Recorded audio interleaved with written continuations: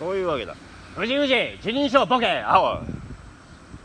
お前辞任要求に来た。お前反省してるじゃんボケ。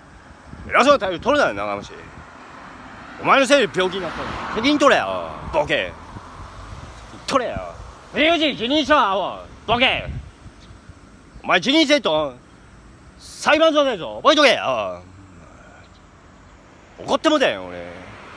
はい長所機能所確保しろ支配人警察本部詐欺やったやつこれ。どういうつもりや本当に。あおそういうことや。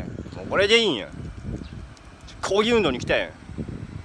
喧嘩売りに来たやあの態度に切れた歌だこれ。ほんまに。